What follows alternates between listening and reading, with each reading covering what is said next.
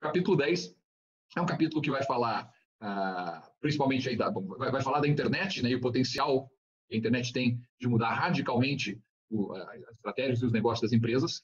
Uh, vocês já na, na, na, aula anterior aí vocês já assistiram aquele aqueles eh, aquele webinar né uh, que falava sobre principalmente sobre os desafios mais ligados à área de logística mas como que a logística está se adaptando a, a esse, esses tempos de pandemia e, e, como que a logística está se adaptando a uma logística já do comércio eletrônico vocês devem ter para aqueles de vocês que assistiram vocês devem ter percebido que inclusive o próprio o diretor de logística lá do, do Carrefour né estava falando muito mais das possibilidades é, que estão sendo exercidas agora de comércio eletrônico do que exatamente daquilo que acontece nas lojas físicas. Né? Ah, comércio eletrônico é algo que já está por aí desde o final da década de 90. Eu lembro que eu fiz as minhas primeiras compras de supermercado, naquela época, muito mais até para para estudar, para entender como é que funcionava, como é que podia funcionar isso, lá por 1999. Então, havia mais de 20 anos, eu já comprava, tinha, em Curitiba tinha aqueles supermercados Paraty, que eu acho que não é do tempo de vocês, né? Mas uh, o Paraty tinha vendas de comércio eletrônico e eu comprei algumas vezes pelo site uh, para que eles fizessem entrega na, na, minha casa. Isso há mais de 20 anos. Uh, o comércio eletrônico vem crescendo regularmente desde, ao longo desses 20 anos. em algumas, na maior parte das áreas, ele cresce mais rápido do que o comércio tradicional, obviamente, porque ele vai se apresentando como, como uma alternativa. Né? no início, ele era algo que ainda ficava muito restrito em função do fato de você precisar de um computador para conseguir comprar coisas pela internet. Uh, mais recentemente, principalmente depois do evento do, do telefone celular, dos smartphones, do celular inteligente, nos últimos 10 anos, praticamente qualquer um pode comprar pela internet. Né? Uh, ainda assim, uh, embora praticamente todos os brasileiros hoje sejam usuários da, da internet, ao menos no, no telefone celular, a proporção de brasileiros que faz compras pela internet é bem mais restrita. Né? vocês até podem achar isso, não é? como que pode, né? tenho a impressão que alguém que esteja, principalmente alguém que é, primeiro, é da área, mas é da área de informática e tem a idade que vocês têm, uh, ia ser difícil, talvez, uh, encontrar alguém que nunca tenha feito uma compra uh, pela internet. Embora seja, isso seja plenamente factível, porque os motivos para não fazer compras pela internet não são necessariamente só o fato de não dispor de tecnologia para isso. Né? tem muita gente que, por exemplo, tem um receio de incluir os seus dados de telefone celular, por exemplo, né? é, desculpe, os, os, dados do seu cartão de crédito né, para fazer uma compra. Isso tudo é, gerava dificultador, dificultadores ou barreiras a essa forma ah, de, de realizar transações econômicas, digamos assim, intermediadas por um computador ou por um celular, que na realidade é um computador de bolso. Né? mas nós estamos agora vivendo um momento, esse, esse momento atípico, completamente inesperado, representado aqui pela pela Covid, acabou sendo dando um impulso tremendo né, para o comércio eletrônico. Uh, e é, eu acho que é um, torna ainda mais relevante, mais importante a gente fazer uma discussão desses conceitos do capítulo 10, né? Uh, embora esse aqui seja um daqueles capítulos que também, quando eu escrevi, a maior parte do que eu escrevi aqui, eu escrevi num tempo em que eu não estava pensando no mobile uh, commerce, no m-commerce, né? Então, eu já estava pensando no e-commerce, mas não necessariamente no m-commerce. Tá? Então, eh, hoje, eh, considerando que todo mundo tem no seu celular um dispositivo que é capaz de realizar compras nesse formato é, remoto, uh, o que talvez impedisse as pessoas de fazer essas compras uh, fossem motivos, de novo, de percepção de segurança, motivos culturais, uh, motivos de, às vezes, de não acreditar que um determinado tipo de compra possa ser feito e faça sentido fazer pela internet, né? Uma série de questões que mudaram muito rapidamente nesses últimos 80 ou 90 dias. Né? A presidente do, do, do grupo a Magazine Luiza né, a, deu uma entrevista recentemente em que ela disse que as empresas evoluíram mais nos 20, nos 20 primeiros dias depois dessa, do início dessa pandemia do que nos 20 últimos anos. Né? Uh, e eu acredito que, de fato, uh, muita coisa que as empresas pensaram em fazer por muito tempo e ficavam sempre naquela dúvida, mas será que meu cliente vai que é isso? Ou será que meu, meu cliente vai entender? Será que meu cliente vai aceitar? De repente, elas, ah, nesse momento ah, de, uma mudança muito concreta na capacidade das pessoas fazerem compras físicas, né? as empresas que já tinham isso mais ou menos engatinhado conseguiram avançar muito rapidamente. Né? Ah, eu não sei, talvez vocês pudessem escrever ali no, no, no nosso chat Vocês compraram, uh, vocês pessoalmente, cada um de vocês, compraram alguma coisa pela internet nesses, durante essa pandemia?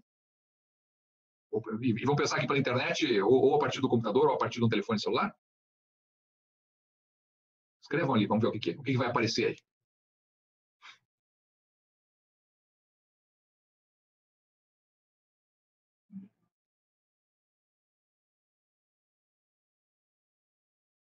Olha, está dizendo ali muita coisa. É. Talvez alguns tenham comprado muitas coisas. Então vamos pensar assim, nas coisas que vocês compraram que vocês não costumavam comprar. Comida era uma coisa que a gente, é, quer dizer, não é que a gente não comprava, né? Até existia já uma onda um pouquinho anterior à, à, à pandemia, que já era essa onda da, de, de, de compra de, de, né, de, de, comida assim mais de prato pronto, né? Com todas essas empresas de entrega, né? Isso aí tava, já estava no momento de, de crescente. Eu estou vendo ali vocês falarem Rappi, né? É, Rappi, como é que é aquela outra James, é, é, tem, uma, tem umas quatro, cinco dessas empresas que a gente vê o tempo todo o pessoal passando pela, pela, pela cidade aí, né? Uh, essas empresas todas, uh, sem dúvida nenhuma, são grandes vencedores desse momento, são empresas que estavam no lugar certo na hora certa, né? Uh, e, e, nós todos, houve uma mudança aí no perfil de compra, sem dúvida nenhuma, as pessoas, para evitar sair de casa, começaram a comprar coisas que antes não compravam tanto pela internet, né?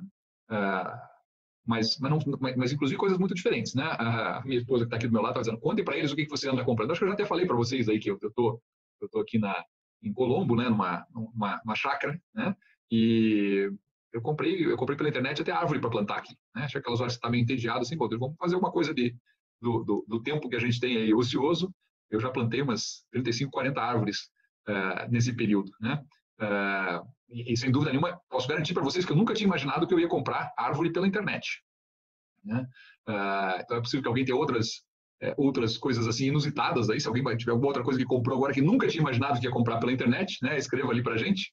Tá? Uh, mas sem dúvida nenhuma nós estamos no momento em que as pessoas estão experimentando mais compras pela internet do que experimentavam antes. Tá? E de novo pode ser que vocês sejam um grupo que já estivesse mais envolvido com esse tipo de, de compra, uh, em função do perfil etário, de idade e do perfil uh, até de mais de uso de tecnologia, né? mas Ali o Matheus está dizendo que precisava comprar uma chave sextavada, mas só precisava de uma, custava 10 reais e o frete era 20. É, esse é um problema que a gente ainda tem, inclusive para quem assistiu aquele, aquela discussão da que, eu, que eu sugeri para vocês lá na aula, na aula anterior, é, tinha lá no final uma discussão se existia frete grátis, né? E a minha pergunta para você, Matheus, é quando você vai comprar uma chave, ela custa 10 e o frete custa 20, eu diria assim, tem uma, você, você acaba, o teu psicológico, você vai dizer assim, ah, não, não vale a pena comprar, né? Mas a minha pergunta é se a, se a empresa tivesse dito para você que essa chave custava 30 reais e o frete era gratuito, a decisão de compra seria mais fácil? Né? Tem umas coisas assim que às vezes são uma, parece uma pegadinha, uh, mas muito do frete grátis é exatamente isso. Né? É uma dificuldade que nós temos é, quando a gente avalia que está fazendo uma compra e perce, começa a perceber que o frete tem um valor significativamente elevado em relação ao, ao preço do produto, ele tem uma tendência a segurar aquela compra, dizer, ah, não, eu vou comprar fisicamente depois, em, em algum lugar. Mas o fato é que, ah, em muitos casos, né, e, e, dependendo de como for estruturada a lógica desse, da, da, venda desse produto, é, talvez o, o, o, frete seja mesmo o, o, item mais caro, e mesmo quando você vai comprar numa loja física, né, é, lá você esteja com o frete embutido. É claro que lá o frete até a loja tem um custo muito menor do que o frete até a tua casa, em função daquele problema que nós já discutimos aí e que já apareceu também no vídeo que vocês assistiram aí da, da para a última aula lá, que é o problema que a gente chama de o problema da última milha, essa última milha sai muito caro porque é uma milha em que o, produto, o deslocamento do produto é feito especificamente para você. Né? Então, o produto vai sair de, uma, última central, de uma, central onde ele, chegou ainda num veículo maior e agora ele vai ser entregue para você ou numa motocicleta ou num, num, pequeno veículo de entrega, mas ainda assim é, o custo aí é elevado porque tem uma pessoa que está se deslocando para fazer aquela entrega para você. Né? Então, inclusive no, no, no vídeo que vocês assistiram, tem uma discussão séria ainda sobre formas de solucionar esses custos da última milha, uh, que não estão plenamente resolvidos ainda, e é só, nesses últimos 20 anos em que nós temos tendo, eh, estudado aí a introdução do comércio eletrônico uh, nos mais diversos lugares, uh, a questão da última milha sempre é um ponto importante. A Amazon, por exemplo, quer resolver essa questão da última milha, é, simplesmente garantindo que eles se transformem na loja de tudo, para todos, e aí ela sempre vai ter que fazer, todo dia ela vai ter que fazer entregas, uma série de entregas na sua rua, né? Então, o custo de fazer aquela entrega para você acaba sendo rateado ou dividido com o custo da entrega que está sendo, sendo feita para o seu vizinho e para o outro vizinho duas casas adiante, e assim por diante, de modo que, de fato, o frete pode acabar se tornando é, o frete, um frete mais próximo do frete grátis. Né? É, mas é interessante aquela discussão lá que havia sobre se existe frete grátis. Não, não existe frete grátis. Da mesma forma, como também foi bem lembrado por um dos, dos debatedores lá, não existe almoço de graça. Né? É, Milton Friedman, quando falou isso né, há mais de 50 anos, uh, uh, já alertava. Se você imagina que é, alguém está pagando o almoço para você, saiba que existe um segundo interesse, né? saiba que existe algum motivo para isso estar acontecendo, em outras palavras, que você vai, vai acabar tendo que pagar por isso. Né? Uh, vamos lá, então vamos tentar dar uma passada aqui pelos principais itens desse capítulo. Né? É... Então, deixa eu descer aqui um pouquinho. Então, uh, primeiro, uh, uh, quer dizer, a internet tem um potencial enorme para não só suportar os negócios que uma empresa já faz, mas principalmente para mudar um negócio, porque ela permite justamente que você entregue produtos de uma forma pulverizada, que antes você não fazia. Ela permite que você repense toda a loja, toda essa lógica de distribuição, porque você jamais vai deixar agora um produto parado numa prateleira, né, ou numa prateleira de demonstração para o cliente. Ele pode ficar parado numa prateleira lá num, num centro de distribuição, mas esperando um cliente de qualquer lugar da, do, do, país ou do mundo pedir aquele produto. Né? Ah, notem que quando, quando eu empurro o produto mais para próximo do cliente final, do, do, consumidor, sem saber exatamente aonde que vai se dar a demanda, eu estou tendo que fazer um exercício de especulação, de adivinhação muito grande. A gente já falou um pouquinho dessas adivinhações que às vezes tem que acontecer no, no nosso processo de decisão, lá quando estávamos discutindo lá o, o caso do o jogo da cerveja. Lembram? Naquele caso lá, ah, bom, e, e, na realidade a questão é muito parecida, porque lá justamente você estava querendo saber o quanto você deveria ter de estoque para atender a demanda do seu cliente ah, num determinado ponto, e você nunca sabia exatamente em que ponto aquele estoque seria ah, necessário. Né? Então, quando você manda um produto para uma determinada loja, você já assumiu que, que, alguém vai querer aquele produto a partir daquela loja. Mas e se de repente você mandou para uma loja e o cliente quer num outro, outro ponto da cidade, ou até num outro estado? Né? Então, muitas vezes, é, essa possibilidade agora de vender, de vender, pela internet faz com que o produto possa ficar parado num, num, ponto centralizado e só quando o cliente manifesta a sua demanda, até porque já foi a venda já foi transformada numa venda de um produto sob encomenda, só quando ele faz essa manifestação é que esse produto é despachado na direção é, na direção de onde ele se encontra. Né? Ah, então, é, realmente, isso aí reflete muito nas, nas, nas, possibilidades de estratégia que a gente pode desenvolver. Né? Uh, bom, mas então, uh, por mais que pareça, quer dizer, que, a, que, a, que, o comércio eletrônico pareça a solução para uma série de problemas, né, a gente sempre diz assim, ó, tem, tem, tem, que ter um pouco de cautela, e, e, essa cautela tem acontecido ao longo dos últimos 20 anos, porque a gente ainda não conseguiu resolver problemas com esse problema logística, por exemplo, né, essas dificuldades aqui, eu vou falar logo na sequência, que essas dificuldades logísticas, uh, de conseguir, conseguir atender a, a, a solicitação de um cliente é, rapidamente, né, de atender a, a o cliente, embora o cliente esteja fazendo uma compra de encomenda, esteja comprando um produto que está disponível, né, não, não, exatamente numa, numa, prateleira na frente dele, ele não está falando com o vendedor que vai conseguir entregar imediatamente para ele. Ah, e em função disso, essa, né, existe essa uma, uma, uma, um delta tempo aí necessário para que o produto chegue até uh, o cliente. Tem uma outra dificuldade logística importante, que é a dificuldade do que a gente chama de logística reversa. Né? Meu filho comprou é, ontem chegou aqui uma capa de violão. Ele foi colocar no violão dele, a capa é menor do que o violão. E daí eu falei, pô, mas você não mediu? Ele falou, não, não tinha, as informações não estavam bem certas, eu fui pelo, enfim, pelo tamanho do meu violão ali, tudo, achei que ia dar, não deu. Né? Ah, como ele comprou pelo Mercado Livre, o Mercado Livre tem uma opção lá de você devolver o produto. Né? Que eu ainda não fiz para dizer para vocês exatamente o, se, qual, é o, qual é o custo ou o inconveniente que eu vou ter de devolver esse produto. A princípio, eu posso simplesmente apertar um botãozinho ali, eles vão me dar um, um endereço de retorno, e eu vou ter que levar isso aí até o correio, não sei se o frete de volta é por minha conta, né? talvez numa outra, numa outra aula eu possa dizer para vocês, mas o fato é que existe um custo que ou vai ser arcado pelo cliente ou arcado pela empresa uh, de fazer essa logística reversa nos casos em que não a, venda foi frustrada em algum aspecto. Como eu não estou, como o cliente não está comprando algo que ele pode experimentar imediatamente, né? uh, existe um risco maior de haver um desajuste entre o, as expectativas e o que de fato uh, lhe é entregue. Né? Ah, então, é, temos aí, além das dificuldades logísticas, tem, a, tem a, a, da logística tradicional, tem a logística reversa também, como é que eu faço para devolver, para voltar. Tem a questão de segurança, que eu já tinha mencionado, né? até hoje tem gente que tem medo de colocar os dados do seu cartão uh, de crédito né, num site de uma empresa e, e, convenhamos, deveria ter algum medo mesmo, porque existe um risco né, de estar sendo uh, exposto uh, ou a, a, um, a, um, um vigarista, quer dizer, o próprio site, muitas vezes você não sabe se aquele site é idôneo, né?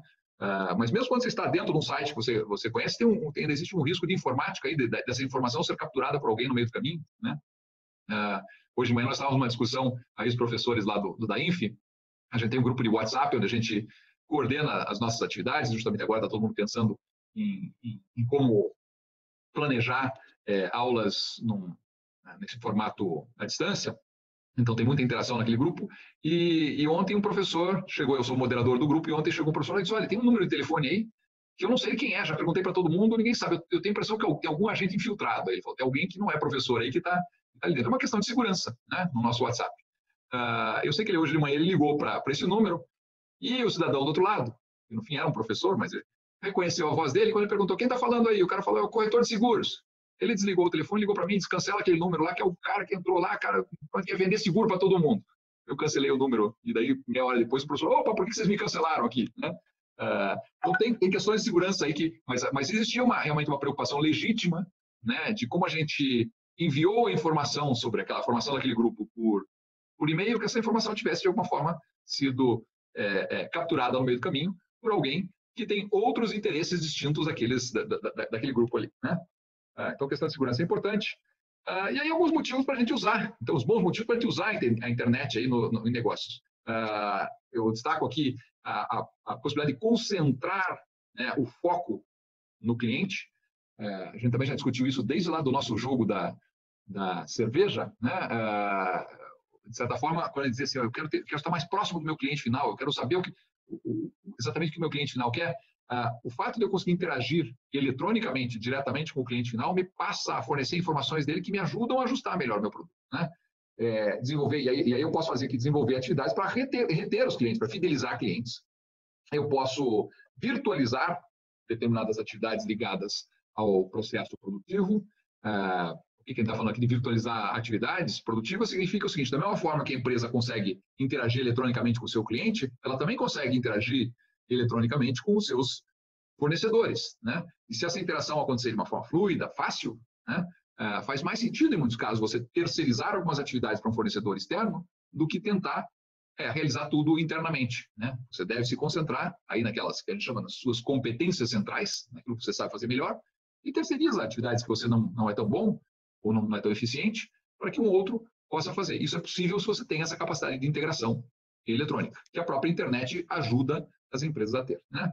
a própria aquisição de, de matérias-primas, né? de não se for pensar aqui na minha, na minha plantação de árvores, né? eu, bom, isso aqui não é uma atividade empresarial ou comercial, mas ainda assim, eu tinha, de, de, de, num determinado momento, ao longo da pandemia, eu estava meio já cansado de, né, só fazer, desculpe, atividade intelectual, e aí eu falei para minha esposa, eu vou ali, tem uma, uma, uma, floricultura aqui relativamente perto, eu vou lá ver o que eles têm de mudas de, de árvores frutíferas. E cheguei ali, de fato, eles tinham algumas, algumas, algumas árvores, tudo, comprei algumas árvores deles, plantei essas árvores, e uma semana depois eu falei, bom, mas não adianta eu voltar lá, porque só tem aquelas mudas, né? Deixa eu ver se eu acho, por acaso, alguma coisa diferente na internet. E daí eu descobri que tinha um monte de empresas, é, aliás, acabei comprando árvores já de São Paulo, de Londrina, tudo com frete grátis, sabe aquela ideia? Né? né o cara pensa lá, não, se você comprar acima de X reais lá, eu te envio com frete grátis. Então, inclusive, o, o, o ticket médio da compra né, a gente chama de ticket médio, aquele, o, o, valor médio da compra realizada pelos diversos clientes, o ticket médio, inclusive, sobe, porque para você ter frete grátis, eles dizem assim, eu até te entrego de graça, mas você vai ter que comprar um valor maior para justificar essa minha entrega. Então, eu acabei comprando mais, né? mas acabei comprando né, é, produtos que não estavam disponíveis aqui no meu fornecedor é, local. Né? E, e, comprei de uma, de uma não uma floricultura, uma, uma, empresa dessas, de um horto desse aí, uh, no interior de São Paulo e de um em Londrina. A rigor você não sabe nem de onde está tá vindo exatamente. É só quando chega para você que você vê lá pelo correio de onde que veio. Né? Uh, então, imagine empresas podendo comprar e comprar de uma forma mais, de novo, mais eficiente do que fazia no passado, comprar pela internet. Né? Podendo fazer buscas uh, e, e, e fazer uma, não só a prospecção, mas a avaliação de fornecedores de um jeito muito mais fácil do que quando a forma de você conseguir falar com o fornecedor era ter que ir até onde ele estava. Né? E, por fim, uh, realizar a coordenação logística com os uh, fornecedores. Né? Uh, E aqui, essa, essa coordenação, quando a gente está falando de coordenação logística, justamente para garantir que os estoques, se houver estoques, que eles estejam no lugar certo, né? Eles estejam sempre é, no lugar onde eles vão ser necessários. Então, se você conseguir coordenar melhor assim, a informação com os teus fornecedores, a tendência é que você consiga fazer isso aí melhor. É, vamos lá. Bom, eu estava esperando até agora se o Matheus ia me responder aquela pergunta que eu tinha feito para ele ali, sobre se, se a chave custasse 30 reais e o frete fosse grátis, se ele compraria mais fácil do que custando 10 reais e o frete custando 20. Né? Então responde lá, Matheus, que eu estou curioso. Ele respondeu. Ah, ele respondeu? Ué, onde é que está isso?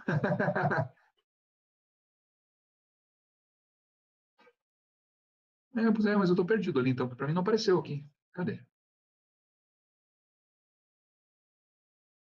Nossa, estranho, gente. Não... Ele respondeu no chat, com certeza, sim. Ah, tá, entendi. O que ele respondeu foi ele, tá, a, o, com certeza foi a resposta. Tá, claro, desculpa que para mim tá, tá, tudo junto ali, eu não, não, não, não, não percebi. Né? Então, vocês, o, o com certeza, né, é, a gente normalmente você não tem, principalmente para itens que a gente não compra com frequência, né, uma chave sextavada. Quanto é que custa uma chave sextavada? Né? É, a gente não tem ideia. É claro que a gente sempre vai comparar. É, a gente vê um valor lá e diz, poxa, mas uma, uma chave sextavada eu não sei quanto custa, mas uma caneta com essa aqui eu, eu sei que custa cinco reais. Vai lá, ó, três reais, não sei, né? três reais. Uh, quanto custa uma caneta? Aqui dá para mostrar como o professor não sabe das coisas, não, não, não sabe quanto custa as coisas, né? Uh, é, então, é, nossa, o que eu fiz? Eu estou vendo aqui o que eu fiz, eu baguncei ó, a tela de vocês ali, deixa eu dar uma olhada aqui.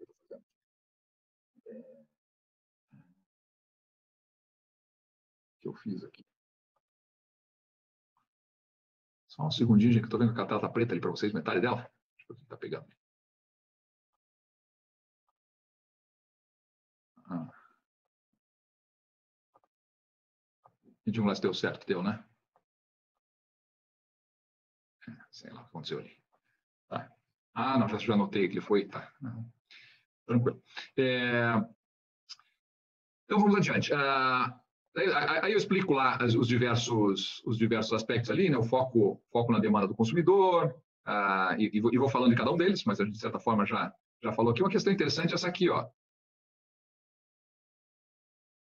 E agora bagunçou de novo minha tela. Estou dizendo que esse negócio está meio bagunçado. Vamos lá, deixa eu tentar.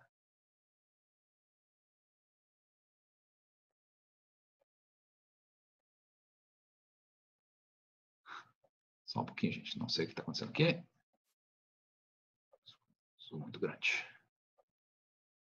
Acho que agora sim. Né? Ah, então vamos lá. Quando a internet proporciona então esse novo canal de comunicação direta com o consumidor, se você for vender o seu produto diretamente pela internet, né, faça-o objetivo principal de conhecer melhor o seu cliente final, não de eliminar o canal tradicional de vendas. Por quê? Porque você já tem um canal tradicional de vendas e é importante para você. Ele faz, sei lá, 80, 90% das suas vendas. Se você começar a tentar priorizar demais o canal eletrônico, esse canal direto, aquelas empresas que são suas parceiras e que vendem o seu produto vão ficar desestimuladas de vender o seu produto. Né? Então, é claro, tem, que avaliar muito bem isso. Pode ser, que você vai dizer assim, olha, não faz mais sentido eu ter alguém, não faz mais sentido eu ter um intermediário. Faz todo sentido eu vender sempre direto para o consumidor. Mas naqueles casos em que você percebe que, ah, pelo menos numa parcela razoável das, do, dos seus negócios, das suas vendas, você vai querer, ah, ah, você precisa desse intermediário, nesses casos, você não deve tentar criar uma forma de interagir direto com o consumidor que seja para uh, bypassar ou para se atravessar e impedir que o seu, o seu parceiro uh, consiga realizar o negócio dele. A tua ideia é, é fazer isso em alguns casos, mas principalmente para entender melhor o cliente e para até ajudar esse seu parceiro a vender melhor no futuro. Né? Se voltasse lá para a nossa lógica lá do jogo da cerveja, seria mais ou menos como se o fabricante de cerveja pudesse ter a informação de qual era a demanda que estava acontecendo lá no, no varejo, simplesmente para garantir, garantir um fluxo melhor de cerveja ao longo da cadeia de suprimentos. Né? Mas não para tentar vender direto para o cliente final. Até porque, é, para uma fábrica, muitas vezes vender diretamente para o cliente final é, acaba sendo mais caro de vender através dos, dos, dos, dos procedimentos tradicionais. Né? É, eu não sei se já deve estar com o tempo meio estourado aqui.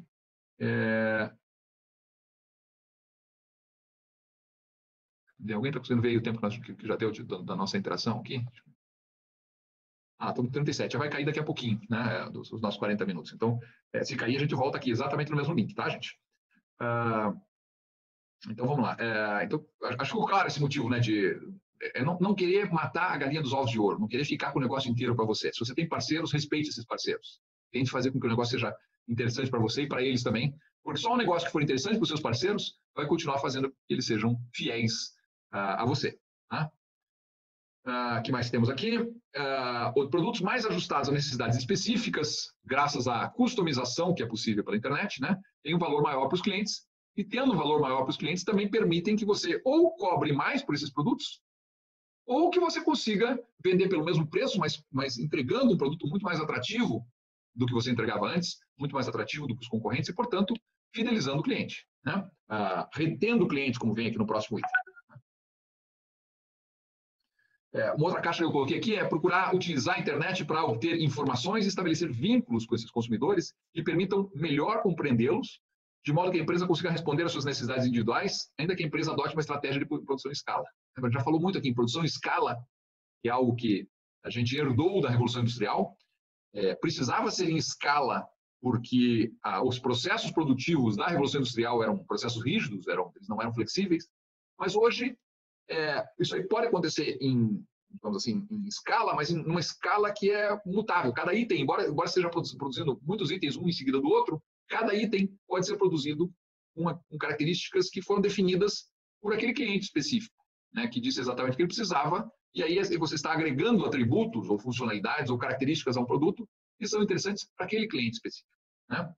É, quem é que tem algum exemplo de empresa que faça isso, que ao vender um produto, e ao vender um produto pela, pela internet, uh, permite que o cliente já passe uma série de informações sobre, esse, sobre como ele quer esse produto, de modo que o produto vai ficando é, com a cara do cliente. Né? Eu lembro que numa aula anterior alguém falou, por exemplo, no home banking. Né? Home banking é um serviço, é, não é um produto físico, é um serviço, mas é um serviço em que quando você entra dentro do, do site do seu banco, tudo que está ali já está ajustado para você. Ele sabe que a partir do momento que ele sabe quem que entrou, ele sabe ele vai ter que colocar lá informações do seu extrato, de quanto dinheiro você tem. Ele pode ter que, numa outra janelinha, é, proporcionar informações de, é, de, de, de, taxa de juros que ele cobraria se você quisesse fazer um empréstimo. E também é personalizado, porque é levando em consideração o risco de emprestar para você e não de emprestar para uma outra pessoa. Né? É, ele vai ter uma outra tela mostrando os seus investimentos, as suas aplicações. Quer dizer, tudo muito personalizado. E notem que ele consegue personalizar, apesar de estar entregando esse produto em escala para milhares ou milhões de usuários. Né? Cada um recebe exatamente aquilo que interessa a si, mas quem está fazendo o serviço uh, faz de uma forma uh, dizer, em massa. Né? É, mas para produto físico, quem me dá um exemplo aí de um produto físico no qual a gente tenha é, esse tipo de situação em que, em que a empresa consegue customizar para você?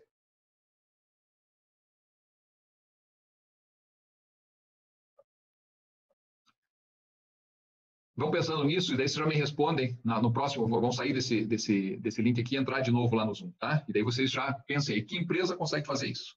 É, o Thiago colocou alguma coisa ali, não sei nem se vai dar tempo de ler aqui. É, pior que só me veio a cabeça, customizar produto físico, é Adidas, que vende tênis, onde você pode mudar alguma, muda alguma coisa escrita no modelo, mas é bem básico. Então, vamos pensar na Adidas, vamos voltar e vamos falar da Nike. A Nike tem um caso que não é nada básico aí. Né? Tá, vamos lá no site da Nike, né? É, Estados Unidos, e aí ele diz assim, ele tem aqui em cima uma opção customizar, né?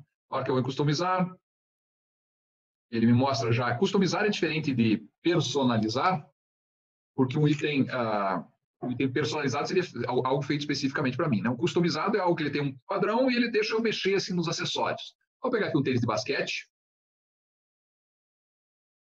Ah, note que agora ele vai me permitir aqui, já, já vai me dar algumas plataformas. Eu posso começar a customizar um tênis que está ali na faixa de 170 dólares, um outro de 130, ah, aqui embaixo um de 140 dólares. Eu vou pegar esse de 160, vamos dar uma olhada nele. Né? Eu pego o tênis e aí eu começo a poder fazer algum tipo de customização. Vamos lá. Primeiro, a primeira customização que talvez eu possa fazer aqui, deixa eu ver lá,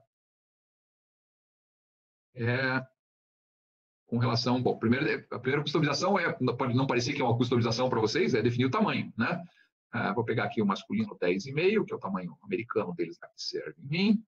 Ah, e agora eu vou entrar aqui no customizar. Mas já, já é uma customização você dizer, olha, eu quero um tênis que, ca, que caiba no meu pé, né? Agora, aqui vamos ver se eu consigo já sair mexendo na, Ó, eu, eu cliquei aqui, ele vai me deixar mexer na cor da sola. Tá? Vou clicar nessa outra parte da sola aqui, não sei se estão vendo lá o cursor. Ele vai me deixar trocar também a cor disso aqui. que cores que ele permite. Nota, customização não é qualquer cor, né? Até porque às vezes a gente, a Nike não vai querer que eu faça um tênis que é tão brega que alguém vai olhar, poxa, a Nike fazendo esse tênis aí, então ela me deixa fazer alguma coisa que ela considera minimamente aceitável, tá? Vou pegar essa parte de cima aqui, mudar de cor, fazer em azul. Opa, errei. Essa aqui que eu Ah, em azul. Ah, não deixa, porque eu estou clicando errado aqui. Tá aqui.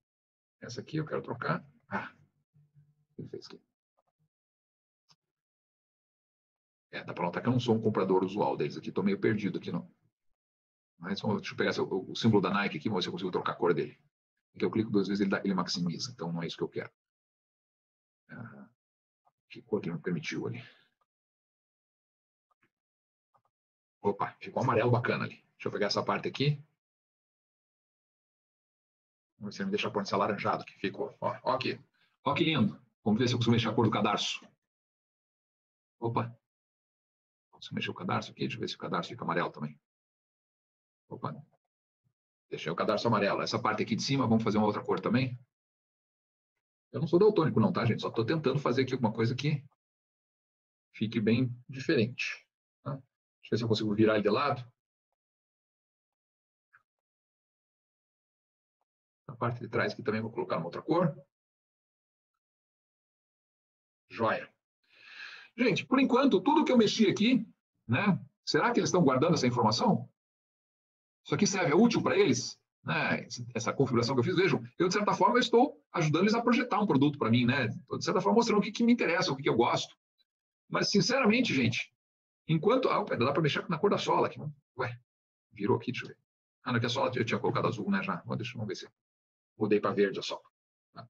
Por enquanto, enquanto eu estou só mexendo, eles não sabem né, é, se eu vou comprar. A hora que eu der um, um concluído aqui, e principalmente a hora que eu colocar as informações do meu cartão de crédito e pagar por esse produto, aí, gente, aí essa informação passou a ser uma informação muito importante para a Nike.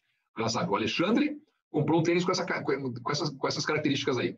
Significa que, possivelmente, outras pessoas que serão parecidas com o Alexandre de alguma forma, né? talvez gente da, que mora na mesma região, gente com o mesmo nível de instrução, gente com o mesmo, é, da mesma faixa etária, deve ter gostos mais ou menos parecidos. Mas vai lá, a gente sabe que estatisticamente o que uma pessoa gosta não, não significa muito, né? Mas a gente pode ter uma situação em que, de repente, 30 pessoas já escolheram tênis mais ou menos parecidos. Notem que essa informação foi trocada entre a Nike e esses 30 clientes que compraram tênis que eles próprios configuraram, acaba entregando muito mais informação para a Nike sobre o que outros clientes também vão querer. Né? Ah, então, ah, de novo, volta aqui aquela, aquela questão de que vale a pena a gente criar a possibilidade do cliente comprar diretamente do fabricante, não porque ele vai conseguir entregar mais barato do que se você, de repente, for comprar esse tênis numa, numa, numa sapataria na cidade. Né? Lembra, aquele custo da última milha é um custo caro. Né? Então, muitas vezes, valeria mais a pena fazer você se deslocar até a loja. O problema é quando você se desloca até a loja para comprar uh, um par de tênis, uh, você chega lá, você olha o tênis, de repente já não, não tem o teu número. Você vai embora, vai para outra loja. Qual foi a informação que você deixou para essa loja? Né? Quando eu disse para vocês ali que ah, enquanto você não colocou a informação do cartão de crédito, a, a Nike não está muito interessada no, no, no, fato do, do, que você fez com o produto, nem é tão verdade assim. Se você chegar lá e tentar, mas de repente não, o, o tamanho que você queria não tinha, né? ah, essa informação numa loja virtual ela fica disponível. Né? É, você tentou comprar um tênis de um determinado tamanho, você tentou fazer ele de uma determinada cor, mas você não pôde fazer aquilo. Essa informação continua no banco de dados e pode ser usada depois. Né? Na loja física, se você entrou lá, pediu para o vendedor um tênis num determinado né, com determinadas características, ele foi lá, procurou no estoque, não tinha, né, essa informação não ficou registrada em nenhum meio eletrônico, muitas vezes. E aí, ah, não pode ser usada, quer dizer, ela não vai poder ser usada para tomadas de decisão posteriores. Né? Ah, então, notem aqui, de novo, aquilo que eu já, eu já, tinha comentado com vocês anteriormente, a gente usar a internet para desenvolver um diálogo com o cliente, estabelecer aquela intimidade virtual, como, como a gente discutiu lá quando estava falando do capítulo anterior, capítulo 9, né? A intimidade virtual com o cliente se constrói a partir de interações né, do estabelecimento desse diálogo. Né? Uh, alguém tinha colocado ali, eu vi é, um outro exemplo, né? Era o exemplo da o que, que é uh, o que, que é o foto, fotoblock.com.br. Explica lá, Leonardo. O que, é esse site?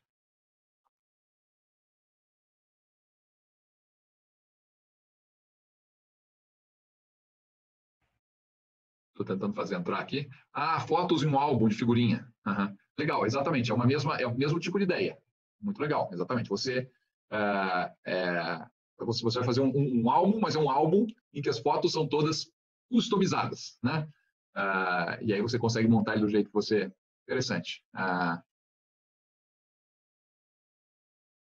é, olha, que, olha como essa, essa loja aqui, como ela, ela, ela é, é vamos assim, ágil. Ela até, o site dela já fala assim, ó, estamos funcionando, detalhes de como a, a está durante a pandemia do, do Covid-19, explicando o que estão fazendo. Mas é boa ideia essa aí. Essa é uma, uma empresa, depois quero dar uma, uma, investigada melhor aqui, mas me parece que justamente que é aquele tipo de empresa que consegue criar a, é, essa, essa experiência individual para cada cliente, por mais que o que esteja sendo feito ali seja feito de uma forma meio que em massa. Né? Vamos lá. Uh, bom, em, em, alguns casos a gente pode virtualizar as atividades, de, as atividades produtivas. Né? Gente, isso aqui pode parecer meio viagem, né? assim, como virtualizar a atividade produtiva? Significa que você vai fazer uma coisa meio estilo é, Beam Me Up Scott, né? Faça, né? Me, me, me, me, faça desaparecer daqui e aparecer lá do outro lado, né? É, resolver o problema da logística um produto físico e fazer com que ele saia da mão do, do fabricante aqui e apareça na mão do cliente lá, sem gerar custos de logística? É, não e sim. Né? É, eu lembro que tinha uma época que eu estava muito interessado nesse tipo de estudo, porque eu, eu percebi o seguinte, que, por exemplo, se você pensar numa floricultura, você quer mandar uma flor para alguém que esteja em São Paulo. Você tem duas possibilidades. Ou você chega numa floricultura aqui em Curitiba, né? Vai lá, escolhe a flor. E aí diz para eles assim: olha, só que preciso que seja despachado para São Paulo. É, mas eu, eu, realmente quero que, essa, que essa, essas flores cheguem para essa pessoa e elas precisam chegar ainda hoje. Né? Ah, daí o cara vai dizer: não, mas eu não tenho um processo logístico para isso. Daí você diz para ele: não, mas vamos fazer o seguinte: e se eu te pagar a passagem para São Paulo e mais pagar o, o custo das duas horas, você vai agora de manhã, leva essa flor, né, e no final da tarde você volta. Pode ser? A tua flor vai custar né, uh, alguns milhares de reais, mas ela vai conseguir chegar na, na, na, mão da pessoa lá e você vai dizer, não, você ainda leva não é com você porque não, não, não pode chegar amassado. Uh, essa é uma forma de tentar fazer uma, um, digamos assim, alguma coisa que poderia ser meio que um comércio eletrônico, você compra de alguém aqui e ele entrega lá depois, né? Uh, tem uma outra forma que é você, você compra de alguém perto de você e esse alguém tem uma interação com outros fornecedores que fornecem o mesmo produto do outro lado. Pode fornecer, inclusive, com o mesmo, né, na mesma embalagem, com as mesmas características. Então, você, de repente, você pode comprar essa flor em Curitiba e uma floricultura de São Paulo, parceira daquela floricultura de Curitiba, entrega lá para a pessoa, sem você incorrer em todos esses custos adicionais de, de logística. Né? Ah, em alguns casos, então, você não virtualiza o processo do jeito que ele era antes, mas você cria um processo alternativo. Em vez de fazer fluir um produto físico, em vez de você fazer a flor se deslocar de Curitiba para São Paulo, você faz a informação sobre a necessidade dessa flor trafegar daqui até lá, até porque a informação trafega por canais eletrônicos em que as coisas acontecem na velocidade da luz, né?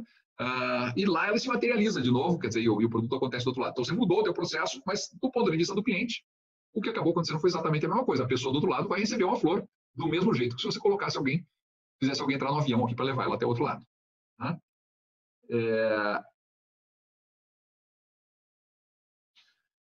Tá, o, o, Leonardo está dizendo ali também que a Netflix tem algo parecido também. Quando você pesquisa algo que não tem na Netflix, aparecem títulos similares. É, a, a maior parte dessas empresas de, né, que usam a, a, internet como uma ferramenta para se aproximar dos seus clientes, hoje, elas procuram usar algum tipo de mecanismo justamente para estabelecer essa, para tentar entender o que o cliente gosta, né? e a partir disso entregar para ele algo mais parecido com o que ele quer. Né? Ah, de fato, né, se, se eu entro na Netflix, ela já tem lá. Eu, eu, o único problema é que eu acabo assistindo um monte de filme parecido, né? Porque daí ele, só, ele começa a me mostrar aqueles filmes que são, são parecidos com os filmes que eu gostei antes. Né? Então tem, tem um aspecto bom disso, que é eu não vou assistir, assistir um filme que eu, que eu não vou gostar, mas ao mesmo tempo eu não vou assistir um filme que vai me surpreender, algo, algo diferente. Né? Então tem aspectos positivos e negativos. Eu não consigo ali chegar e dizer, me surpreenda com algo que você não tem nem ideia se, se pode ou não me, me, me fazer me, me interessar mas uh, porque eu não quero ver mais do mesmo. Uh, então, a, gente discute aqui um pouquinho essa questão dos produtos ou serviços de informação. Né? Uh, eu sempre digo que produtos e serviços de informação têm qualidades mágicas, né? porque eles podem ser transferidos de um lugar para o outro a custo zero, não tem, não, tem custo logístico. E também não tem nem custo de, de, de produção ou de, ou de replicação. Né? Tem um custo de desenvolvimento mas depois que está desenvolvido esse produto de, ou serviço de informação, eu posso gerar quantas cópias eu quiser dele, que não existe mais custo de replicação, não existe esse, o, o que normalmente ele chamaria num processo produtivo tradicional de custo de produção não acontece. Só existe o custo de desenvolvimento, né? Então, obviamente, produtos de informação ou, ou serviços de informação são muito ajustados a essa lógica de, de comercialização pela internet. Estejamos nós falando aqui de uma internet mais tela grande, modelo né, computador pessoal do passado, assim, era que era a forma de interação principal há 10 anos, ah, seja na telinha de um celular. Né? Ah, é, então, é, o produto e serviço de informação definitivamente não existe outra forma mais razoável de comercializar do que por meios eletrônicos. Ah, no caso de produtos físicos, né, Aí tem essas coisas que nós já discutimos aqui, né? A preocupação do Matheus lá com o custo da entrega ser mais alto do que, do que às vezes, do, do, que o próprio custo de produção do produto, né? Ah, então, no caso de, de, produtos e serviços físicos, a gente sempre tem que pensar muito mais para avaliar né, quando é que vale a pena transformar isso num negócio virtual, né?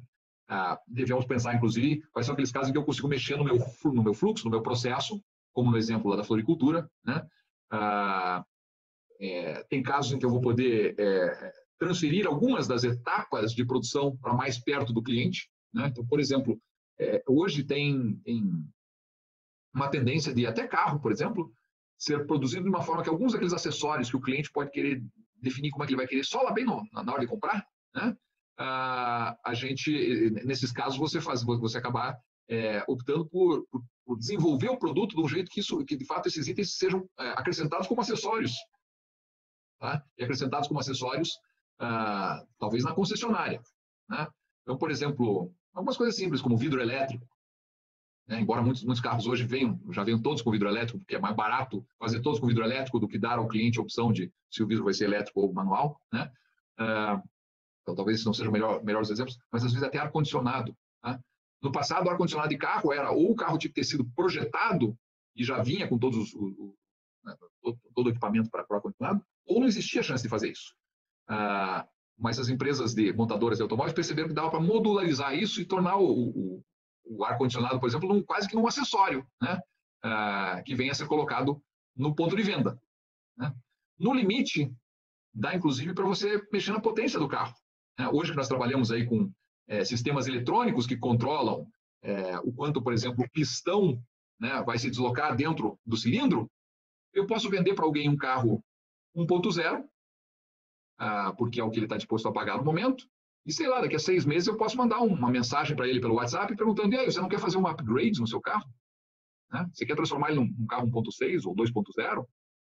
E o cara vai dizer: como? Você vai mudar o motor do meu, do meu carro? Não, eu só vou reconfigurar o software dele. Eu vou deixar que aquele pistão se desloque mais. Né? Eu estou aqui eh, exagerando um pouquinho, mas já existe, inclusive, possibilidades mais ou menos nessa direção, de você configurar as características que um carro vai ter, velocidade máxima, potência máxima, o que quer que seja, em função de software e não de hardware. Isso permite que você entregue alguma coisa no momento e depois, sem necessidade, sem, sem nenhuma implicação logística adicional, não precisa nem ir na concessionária, não precisa ir numa, numa assistência técnica. Você, a pessoa põe o cartão de crédito e, em função do cartão de crédito, é, ela né, da, da, da, pagou, está liberado. A partir de agora, o carro, você aperta o acelerador lá, você vai ouvir um ronco mais forte, porque o motor está mais potente. Né? Ah, então, até mesmo produtos físicos começam a se beneficiar aí de algumas possibilidades que antes só estavam lá para produtos uh, de informação. Né? Eu já tinha comentado aqui, ah, minha esposa estava aqui, eu não entendi porque ela estava aqui na minha frente me mostrando uma coisa, ela estava... Agora. Não vai dar para eles verem, eu acho. Mas, são, mas de novo aqui, é, como é que é o nome do lugar aqui? É. Vocês acreditam plantas chegaram pela internet? Espero deixar, acho que tem que ficar assim, né? Ficar em pé aqui, senão minhas plantas vão. vão... Pô, já deve ter vindo meio deitado, né? Mas enfim, vocês viram que dá para comprar coisas meio malucas pela internet, né? eu não estava entendendo porque ela estava aqui na minha frente fazendo umas mímicas aqui, tentando me mostrar uh, essa caixa. Eu falei, mas no meio da minha aula? Mas é que ela queria ilustrar a minha aula. Tá? uh, o Matheus está dizendo aí no uh, upgrades na te no, no, no, dos carros da Tesla, né? Exatamente. Tá?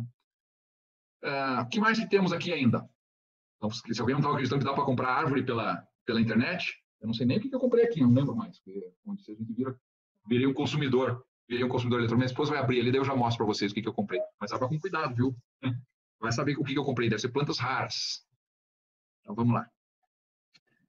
É, compra de matéria-prima online. Acho que esse aqui já falamos um pouco antes, tá bom? Prospecção de fornecedores pela internet também tá. Esse, esse barulho todo ela tirando ali os durex da caixa, tá? Ah, mercados eletrônicos, esse é um negócio interessante, né? A gente agora, a gente pensa muito nos, a gente tem aqui os nossos marketplaces, né? Tipo, como é a gente chama lá, Mercado Livre, né? Mas existem mercados eletrônicos também de fornecedores. Oba, ganhei, olha, olha só, o negócio aqui vem pela internet, vai vir com desconto para a próxima compra, jardim exótico. Deixa eu ver o que chegou. Gente, para quem não acredita que dá para comprar de tudo pela internet, ó, uma goiaba roxa. Se alguém quiser goiaba, né, me procura daqui a uns cinco anos. Essa plantinha aqui, espero que já esteja. Olha como é que eles mandam aqui, ó. Embaladinha e veio, ó. As folhinhas, tudo certinho aí. Vou plantar ainda hoje no final da tarde. Vamos adiante. Deixa eu ver aqui o que, que é. Não é possível que, vocês, que eu não, tenha conseguido que vocês falassem nada nem das minhas. Ah, já, tá, já, já, já tem gente querendo comprar. A Ana também está dizendo que está querendo comprar plantas para apartamento. Aqui não é apartamento, não. Aqui é chácara. Então aqui dá para comprar à vontade, sabe? Esse, Fabiana, esse problema não vou ter que, não vai faltar espaço para colocar planta nesse lugar aqui. Se a gente ficar nesse negócio de Covid por mais tempo, eu pelo menos estou ajudando a reflorestar o planeta. é, o Matheus está perguntando que a planta que eu quero comprar é ilegal? Não, sem comentários, Matheus. Né? É, não vou, né, não vou deixar isso aqui gravado para alguém depois achar que as plantas que a gente quer é só goiaba, higo e coisas do gênero. Né? Eu tenho a impressão que essas outras eles não vendem assim, pelo menos. É, então, aqui tem um exemplo da Covisint, né? É, já é um exemplo relativamente antigo, mas a Covisint era um consórcio que foi criado entre diversas empresas do setor automobilístico nos Estados Unidos, ah, com a ideia de ah, baratear os custos das montadoras. Então, elas faziam compras em conjunto né, ah, de fornecedores, e aí depois essa entrega era pulverizada, cada, um, cada, cada, cada uma das empresas recebia a parte que lhe interessava, mas elas criaram esse, então, um mercado eletrônico para essa troca de, ou para compras. Né? Uma outra coisa muito comum na internet são leilões eletrônicos, em alguns casos, leilões, são leilões, quando é, quando é um leilão de compra, é um leilão que a gente chama de leilão reverso. Não é quem dá mais para o produto, é quem faz por menos. Né? Então, ah, empresas ah, podem pedir para que os seus fornecedores comecem a dar lances, né? E à medida que, depois de um tempo lá, o lance vai baixando até uma hora que ninguém mais dá lance, mas, bom, então esse que deu o menor lance é com ele que eu vou comprar. Né? O governo brasileiro compra muita coisa assim, tem, tem um site do governo do Brasil chamado Comprasnet. Eu vou colocar aqui, depois vocês dão. Acho que é Comprasnet. É, se procurar por Comprasnet no Google, vai, vai, vai encontrar. Tá? Ah, que é um site para leilões ou para pregão, pregão eletrônico. Né? É... O que mais nós temos? Então, a vantagem de empresas grandes comprarem em leilões eletrônicos, porque elas podem solicitar que os fornecedores delas, normalmente empresas menores, né, uh, é, é, entrem nesses leilões para oferecer seus produtos ah, os, então esses grandes esses leilões eletrônicos são bons para empresas grandes comprarem e muitas vezes acabam sendo uma opção interessante para empresas pequenas venderem né, a partir deles. Tá? Ah, temos ainda a questão de coordenação logística, já tínhamos comentado, né? Ah, troca eletrônica de dados. Essa aqui é uma área que é, provavelmente alguns de vocês vão vir a trabalhar com isso algum dia, principalmente quem for, por exemplo, para a indústria automotiva, de novo, eles usam muito Electronic Data Interchange. Né? São protocolos para garantir que uma empresa consiga é, fazer com que os seus computadores interajam com os computadores dos seus fornecedores para compras, compras e vendas e garantir que a compra realmente aconteceu, que a quantidade que foi demandada é o que está sendo enviado uh, e assim por diante. Né? Uh, eu já tive alguns alunos aí, pelo menos do BSI, pelo menos uns três ou quatro foram trabalhar com EDI na Renault, eu sei ali ao longo dos últimos dos últimos cinco, seis anos, pelo menos. Era uma área que eles estavam é, investindo muito lá, inclusive eram ex-alunos nossos que estavam desenvolvendo né, sistemas de, de, troca eletrônica de dados ah, para eles lá na Renault. Né? E mais, necessidade de pensar globalmente ainda que para atuar no mercado local. É, eu quero dizer que isso aqui talvez tenha um pouco a ver de novo com o problema lá, com aquela situação que o Matheus sentiu, né, de, puxa, ele queria comprar uma coisa, mas não, não comprou por causa do, do preço do frete. Tá? Em alguns casos, uh, você não vai comprar por causa do preço do frete, mas você é capaz de ver um produto na internet por um preço e daí, quando você chega no mercado local, quer dizer, na, na tua região, vai comprar, aquele preço custa cinco vezes mais caro. E daí, de novo, mesmo que você não tenha condições de comprar aquele produto importado, porque para vir do outro país para cá ia fazer ele ser cinco vezes mais caro, ainda assim você diz, puxa vida, mas lá, não, se eu for, for comprar isso aqui nos Estados Unidos ou na China, é cinco vezes mais barato, ah, então eu prefiro ficar sem.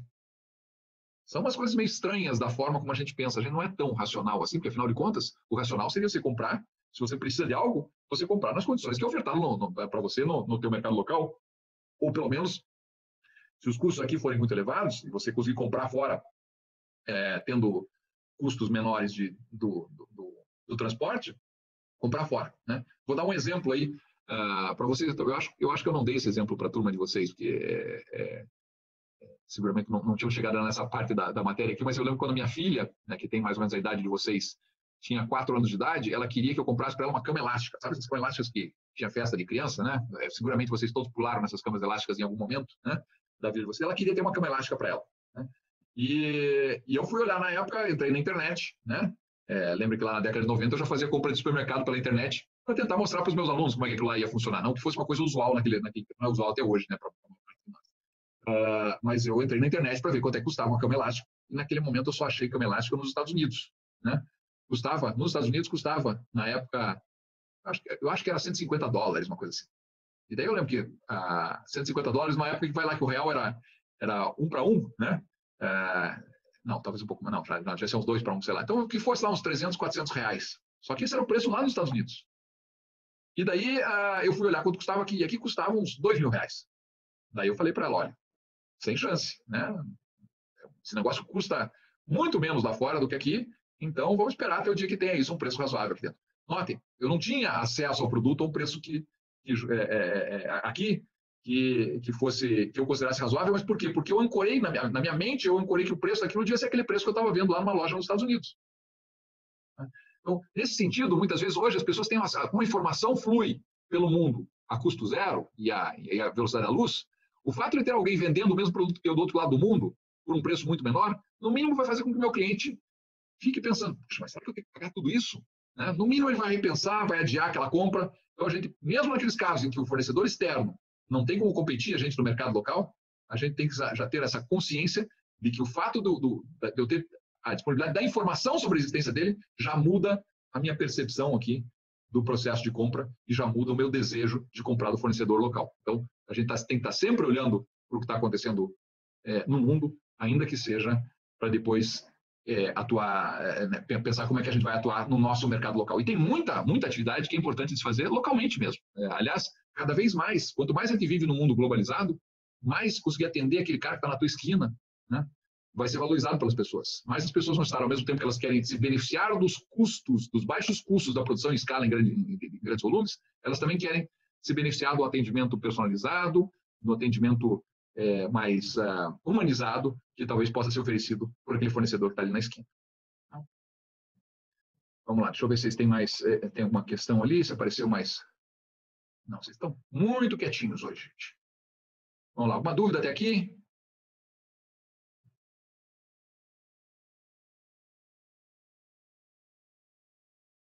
Tranquilo?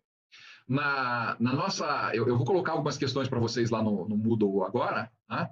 E na nossa aula da próxima terça-feira, nós vamos fazer de novo como nós fizemos na semana, na, na, na, aula anterior, da, da, da sexta-feira, é, da, da terça-feira, nós vamos fazer de novo, vou, vou apresentar um outro é, vídeo de um outro webinar para vocês, um webinar agora da Universidade Federal de Minas Gerais, em que eles estão discutindo justamente as transformações digitais que estão ocorrendo nesse momento em função da, da Covid e que levam também a uma intensificação do comércio eletrônico. Tá?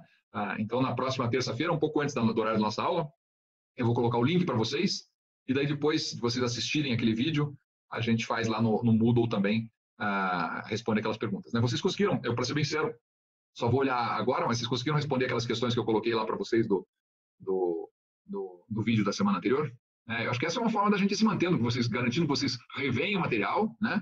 Ah, e que vocês estão aí preparados, apesar de nós estarmos aqui à distância, né? Que vocês conseguem ainda se manter uh, é, sintonizados com a disciplina. Né? Uh, esse outro também, a, Fernanda está dizendo ali que o webinar, o webinar foi, foi, foi muito legal, uh, e eu também achei que tem, tem uns aspectos muito interessantes, e esse, esse outro da, da, da, da Universidade Federal de Minas Gerais, também com o professor Ricardo Martins lá, que é um dos... Ele também tem um enfoque uh, um pouquinho mais, quer dizer, o Ricardo Martins também é um cara de logística, mas ele está lá com outro professor de marketing e um professor o primeiro professor, eu acho que é da área de sistemas de informação, porque ele fala um pouquinho mais a nossa, a, a, a nossa língua. Mas, de qualquer forma, eu sempre digo para vocês, a, a, principal habilidade que nós temos que ter como profissionais de sistemas de informação é conseguir entender os problemas dessas outras áreas né? Ah, para que a gente consiga levar uma solução tecnológica que de fato seja uma solução para o problema que eles têm, né? e não aquela uma solução tecnológica que só é solução para o uso daquela tecnologia, quer dizer, algo assim, é a tecnologia pela própria tecnologia. Tá? Então vamos fazer o seguinte, é, eu vou dar para vocês aí cinco minutinhos para vocês tomarem um café. Enquanto vocês vão tomar um café, eu coloco lá no Moodle é, algumas questões sobre esse capítulo 10. Legal? Alguma questão final aí, gente? Qualquer coisa escrevam ali ou abram o microfone aí. Eu disse, olha, vocês, por favor, não me desmintam depois, hein? Eu andei dizendo para os professores lá do DAINF que vocês são super participativos online.